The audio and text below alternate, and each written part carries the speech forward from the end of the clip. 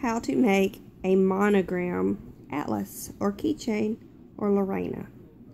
First, you're going to go to the monogram app, which you'll need to download. It is free. Up here, you'll do new with this plus sign. sure Allison didn't want to be in this. Right here, you'll see the little chevron. Click it. And then you'll see all the different patterns that are here. Don't worry if you don't see a color you like because you'll have the opportunity to change it. I'm going to do one with this one. There it is in green. And I do have the opportunity to change the colors to anything you want it to be.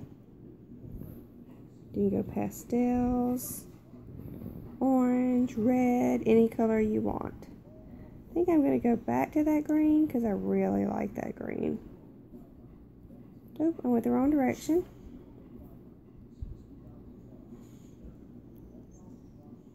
There's just so many that I like, I can't decide.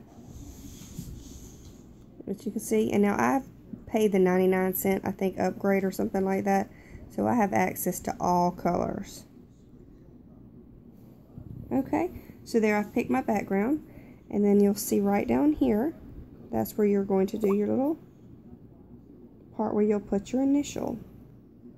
Since this one has that design, I'm going to choose one that's kind of light.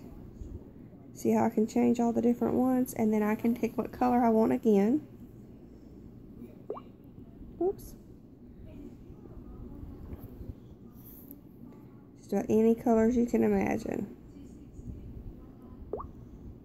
I'm going to go with I'll do a Christmas looking one. The ones in the beginning are the ones that I'll show you. Okay, kind of Christmassy.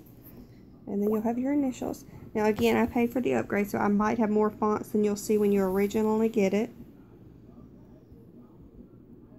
And then I'll just put my initials the way that I want it set up.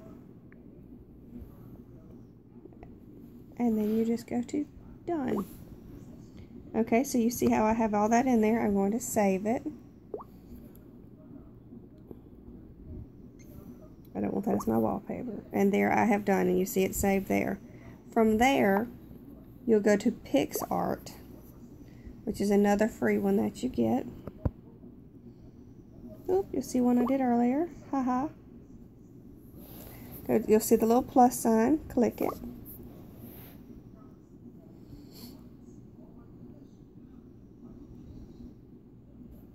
Guess mine's going to go a little slow today. Okay, then you find the one you did. Hit edit at the top.